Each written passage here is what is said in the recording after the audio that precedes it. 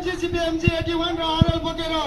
त्यो बमगोला बारुदको बिचमा हुर्केर आएको यो प्रकाश पाण्डे कमरेड जिपी पहिलाको यो मरेको लास फेरि पनि उठेको छ अघि केशवजीले भनेको जस्तै दस वर्ष एघारवटा मुलुकमा घुमेर एघारवटा मुलुकको राजनीतिकलाई स्टडी गरेर आज म फेरि पनि हिजो हाम्रो समृद्ध भएको नेपाल जो राजाले राज गरेर एउटा समृद्ध बनाएको विकसित बनाएको र अन्तर्राष्ट्रिय स्तरमा एउटा वीर गोर्खाली भनेर चिनाएको एउटा नाम दिएको। देश आज तपाईँको संहिताको कारणले टुक्रिएर धजा धजा भएको छ यो संहिताको विरुद्धमा हामीले मेची महाकालीसम्मको यात्राको लागि मैले विभिन्न कार्यक्रमहरू गर्दै आइराखेको छु र हामी सङ्घर्षका कार्यक्रमहरू पनि गर्दैछौँ र हामीले अब प्रत्येक नेपाली जनताको कन्सेप्टमा यो कुरा राख्नको निमित्त हामीले यो कार्यक्रमको बिचबाट बोलिराखेका छौँ कोही जनताहरू डराउनु पर्दैन यिनको दादागिरी अन्त हामी आफै गर्नेछौँ हामीसँग अहिले छप्पन्न सयभन्दा बढी जनमुक्ति सेनाहरू अ, राज संस्था फर्काउनको निमित्त मैले नेपालभरि परिचालन गरेको छु र म आफै गरेको छु। रुख रोडमा निक्लिनुहोस् यो मङ्गीको अत्याचारको अत्या- अत्याचार सबै हामीले अन्त्य गर्नुपर्छ। देश यो अहिले बलात्कारी सरकारले चलाइराखेको छ। यहाँ आपूर्ण राज्य छ भने हाम्रा छोराचेलीमाथि माथि बलात्कार गर्न पाइयो लुट्न पाइयो धम्की दिन पाइयो दादागिरी गर्न पाइयो। अब यो चल्दैन। नडराउनुहोस् रोडमा ओर्लिनुहोस्।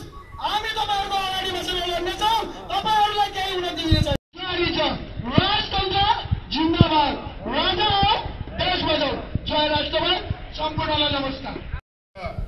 मेयर पद चलाएको यहाँहरूमा सायद धेरैमा जानकारी छ। मित्रहरू त्यतिखेर कतिपय मित्रहरूले भन्नुहुन्थ्यो के गरेको यो तपाईँ? यस्तो बेलामा पनि सुतासुकै आगो बोलिरहेको छ। वारी बम पड्किएछ पारी बम पड्किएछ बाटोमा बम पड्किएछ। राष्ट्रप्रेमी आमा बुबा दाजुभाइ दिदीबहिनीहरूमा हार्दिक न्यानो अभिवादन टक्राउन चाहन्छौँ। मित्रहरू वक्ताहरूले पूर्व वक्ता साथीहरूले धेरै भनिसक्नुभयो र आउने प्रमुख अतिथि अध्यक्षज्यूबाट पनि धेरै कुराहरू भन्नुहुनेछ। म यहाँहरूलाई धेरै कुरा भन्नु जान चाहँदैन। सायद यहाँहरूलाई मैले भन्न भन्दा यहाँहरूले कतिले मलाई देखिसक्नु भएको छ होला जानिराख्नु भएको छ होला। किन भन्दाखेरि म राष्ट्रवादी हो कि होइन भन्ने कुरा म बोलेर म चिच्याएर भन्नुभन्दा यहाँहरूले मेरो कर्तव्यबाट नै थाहा पाउनु पर्ने हुन्छ। किन भन्दाखेरि मैले त्यही बेलामा सात दल प्लस माओवादी साथीहरूले राजाको निर्वाचन हुनुहुन्न।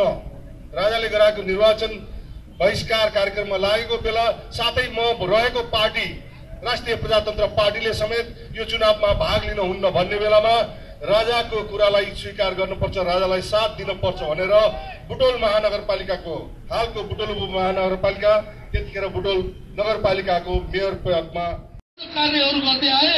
आज राजनीतिकै कारणले गर्दाखेरि सेना सेना तिनीहरूका अबोध बालकहरू बलात्कारियो न्यायालयलाई चाहिँ भागबन्डामा विकलित गरिदियो त्यसपछि कर प्रणाली लगाएर जनतालाई समाप्त पार्ने कार्यहरू गर्यो।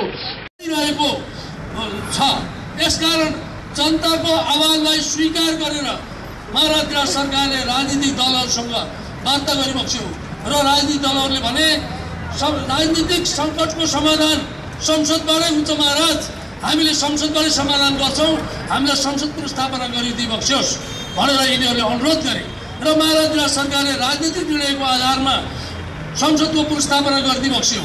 तर त्यही संसदबाट गिरिजा प्रसाद कोइरालाले शपथ लिएका छन् दुई हजार सत्तालिसको संविधानको अधीनमा रही कामकाज गर्नेछु भनेर चाहिँ शपथ लिए। तर त्यो शपथलाई नबिर्सिएर तुरुन्तै जनताको म्यान्डेटलाई दुरुपयोग गरेर उहाँले चाहिँ नि दुरुपयोग गरेर त्यही संसदको प्रयोग गरेर राज संस्थालाई हटाउने काम गरे। राजनीतिक दलहरूको दृष्टिकोणमा राजनीतिक सङ्कट राजामा देखे। राजा र दुई हजार सत्तालिसको संविधान र जनतामा सङ्कट देखे बमोजिम तत्कालीन सरकारको सिफारिसमा आफ्नो अध्यक्षतामा ममता मन्त्री गठन गरिबक्स्यो महाराज सरकारले तिन वर्षको समय मागिबक्सेका थियो र त्यो तिन वर्षको समयभित्र चुनाव गराइदिने र जनप्रतिनिधित्व स्थापित गरिदिने र राजनीतिलाई मूल ट्र्याकमा ल्याउने भन्ने एउटा उहाँको उद्देश्य थियो। तर प्रतिगमन भयो प्रतिगमन भयो भनेर राजनीतिहरू कुर्लिँदै चिच्चाउँदै हिँडे। त्यतिखेर माओवादी सत्ता भनेको आतङ्ककारी हो भनेर मैले भनेको होइन। तत्कालीन काङ्ग्रेस र एमाले भनेको हो माओवादीलाई आतङ्ककारीको बिल्ला लगाइदिएको थियो। त्यो आतङ्ककारीको पाउमा पर्न गयो काङ्ग्रेस र एमाले। जब आतङ्ककारीको लागि रातो कार्पेट बिछाएर संसदमा ल्याए कुन संविधान बमोजिम ल्याए हामीलाई थाहा भएन। यसरी असंवैधानिक प्रक्रियाबाट राजालाई दबावमूलक कार्यक्रम सिर्जना गरे र दुई हजार सत्ताइसको संविधानको बाट बमोजिम खारेज भएको विघटित संसदलाई पुनः पुनर्गठित गर्ने अन्य सहभागी मित्रहरू। मैले दुई हजार त्रिसठी सालमा जब गणतन्त्र आयो त्यतिखेरदेखि भन्दै आएको छु यो गणतन्त्र असंवैधानिक प्रक्रियाबाट आएको छ। तत्कालीन अवस्थामा शिरपाल महाराज निराज सरकारले सबै राजनीतिक दलका नेताहरूलाई भेटेर देशको समस्या समाधान गर्नका लागि राष्ट्रिय एकता प्रयास गर।